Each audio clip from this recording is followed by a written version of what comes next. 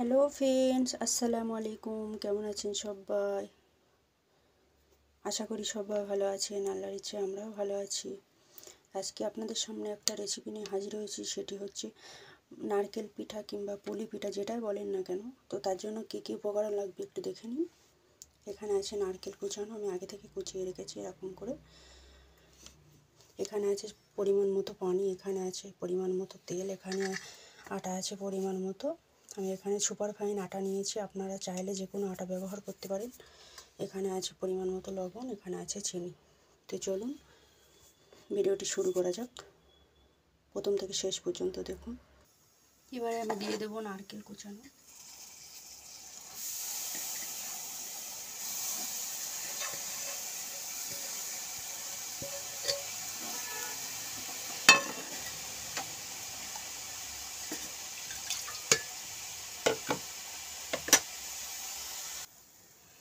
দিয়ে দেবো পরিমাণ মতো পানি।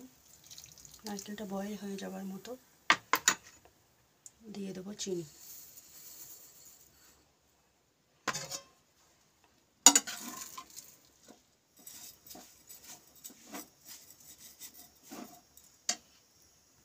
ওই যে আমি এটাকে পাঁচ মিনিট সিদ্ধ হতে দেবো। চলুন ফিরে আসছি কিছুক্ষণ পর।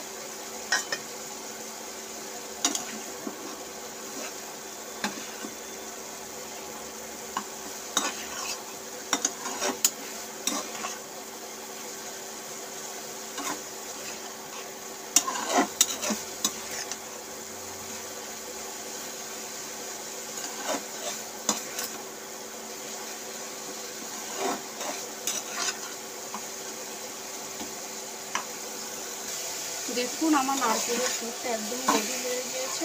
আমার নারকেলের দুধটা একটু সাদা সাদা হয়েছে। যেহেতু এখানে আমি চিনি ব্যবহার করেছি, আপনারা চাইলে এখানে গুড় ব্যবহার করতে পারেন। আমার হাতের কাছে গুড়টা নেই এই জন্য আমি চিনি ব্যবহার করি। দেখুন, আমার নারকেলের দুধটা একদমই রেডি হয়ে গিয়েছে।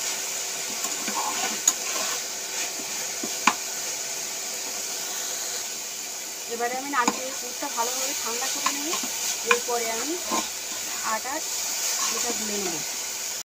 এখানে আমি পরিমাণ মতো পানি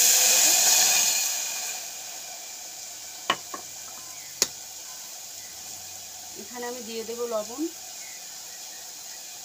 পানিটা ভালোভাবে ফুটতে থাকবে। ভালোভাবে ফুটে গিয়েছে, এই পর্যায়ে আমি দিয়ে দেবো আটা। গ্যাসের এটা একদম লো ফ্লেমে দিয়ে রাখব।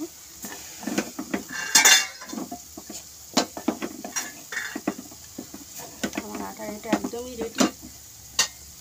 রেডি হয়ে গিয়েছে।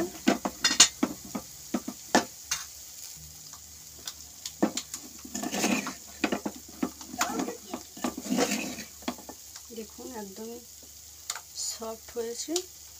পর্যায়ে আমি এটাকে ঠান্ডা করে নেব। দেখুন, এবারে আমি এইভাবে আটাগুলোকে ভালোভাবে মেখে নেব। বেশ পাঁচ মিনিট ধরে যত এভাবে মেখে নেবেন ততই ভালো হবে খেতে।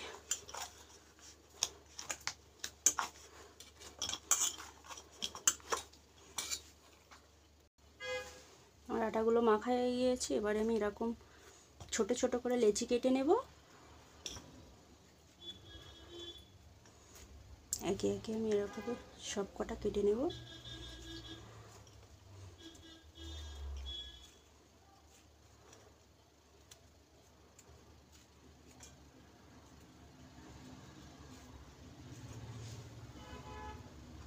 সব লেচি কটা আমার কাটা হয়ে গেছে, আমি এরকম সাইজের করেছি। রুটি বেলার জন্য নিয়ে নিয়েছি। এইভাবে সব কটা গোল করে নেব। এরকম করে করে আমি গোল করে নেব সব কটা। আপনারা এটা হাত দিয়েও করতে পারেন, বাট আমার কাছে মনে হয় এটা দিয়ে করলেই ভালো হয়।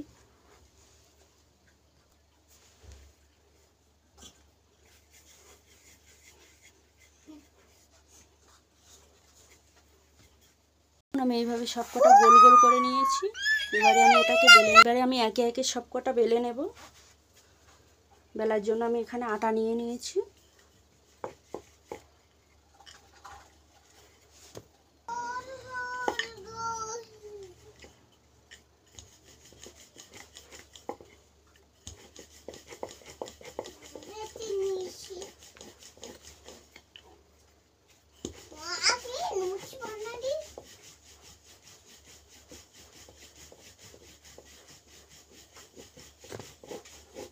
দেখুন আমি এরকম করে সাইজ করে নিচ্ছি।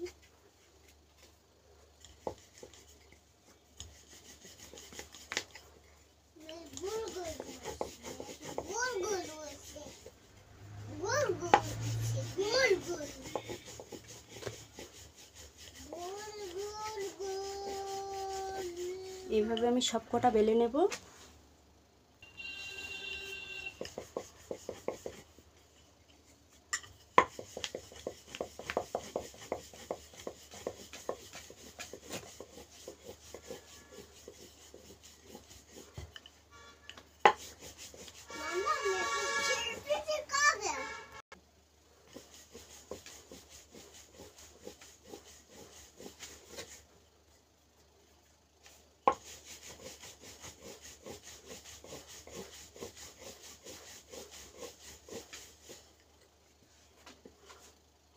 তো ফ্রেন্ডস দেখুন আমার রুটিগুলো আমি এইভাবে বেলে নিয়েছি ছোট ছোট করে।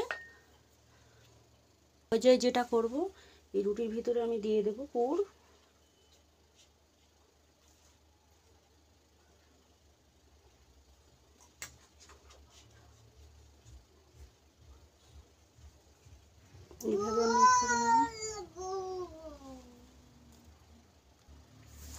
ভালোভাবে এরকম চেপে চেপে দিতে হবে, না হলে খুলে যেতে পারে।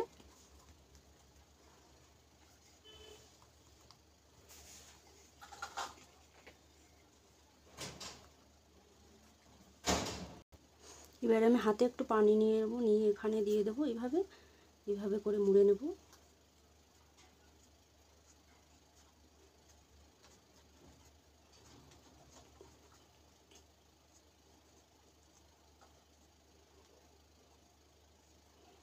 তো দেখুন, আমার এগুলো একদম মোড়া হয়ে গিয়েছে। এভাবে করে আমি সব কটা মুড়ে নেব। এখানে দিয়ে দেব পানি।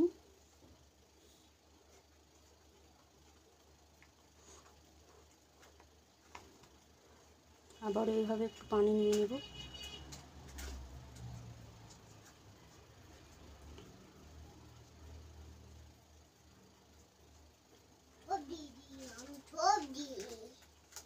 এইভাবে করে আমি সব কটা মুড়ে নেব।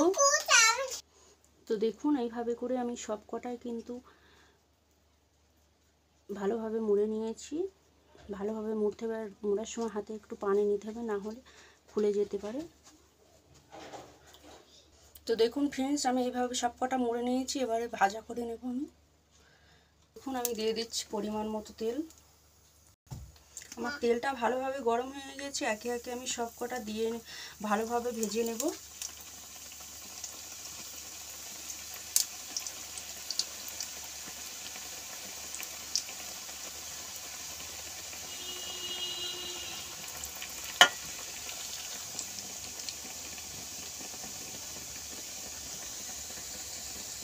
দেখুন তেলে দেওয়ার সঙ্গে সঙ্গে কি সুন্দরভাবে ফুলে উঠেছে। এটা ভাজার সময় আঁচটা একদম লো ফ্লেমে রেখে দিতে হবে। একে একে আমি সব কটা উল্টে নেব। উল্টে পাল্টে ভেজে নেব লাল লাল করে।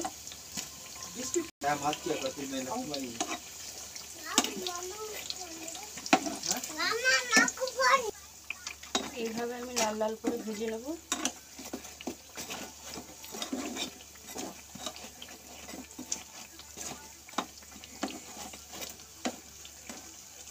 এখন আমার খুব সুন্দর করে ভাজা হয়ে গিয়েছে, এবারে আমি একে একে তুলে নেব।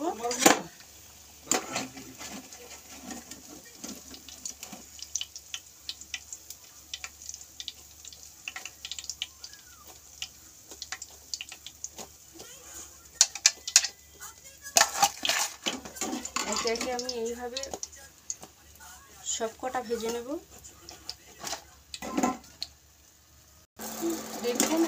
আমি এইভাবে সব কটাকে ভেজে নিয়েছি।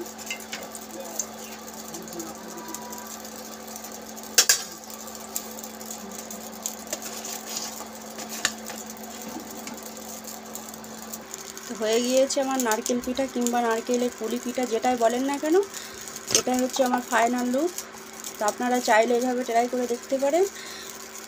আজকের মতো ভিডিওটি এখানেই শেষ করছি। আমাদের ভিডিওটি যদি ভালো লাগে লাইক কমেন্ট এবং শেয়ার করবেন। প্লিজ প্লিজ সাবস্ক্রাইব করবেন। দেখা হচ্ছে পরের ভিডিওটা আজকের মতো, টাটা বাবা আল্লাহ হাফেজ।